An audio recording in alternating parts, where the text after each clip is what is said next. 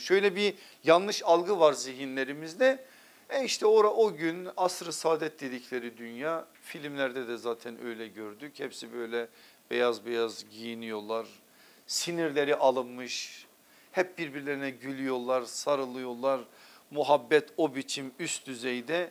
Böyle bir cennetvari bir hayat. Yok böyle bir şey arkadaşlar. Yok vallahi böyle bir şey değil.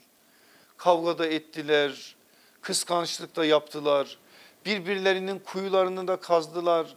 Adam kayırma meselesinde bunları yaptılar. Torpil oldu, rüşvet oldu, zina oldu, içki içildi, şu oldu, bu oldu. Bütün bunlara rağmen asr-ı saadet oldu.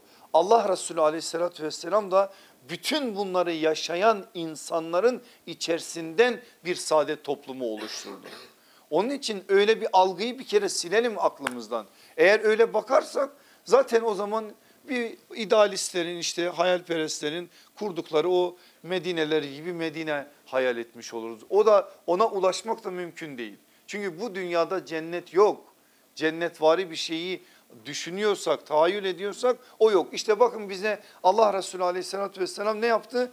Mutedil olarak bizi itidal çizgisine çekti. Hayalden bir kere bizi kurtardı, gerçeğe getirdi. O gerçeğin kıyasına ait de bunları söyledi bize. Şimdi bu çerçeveden baktığınız zaman da hayatımızda o menhece ait şeyleri bulacağız.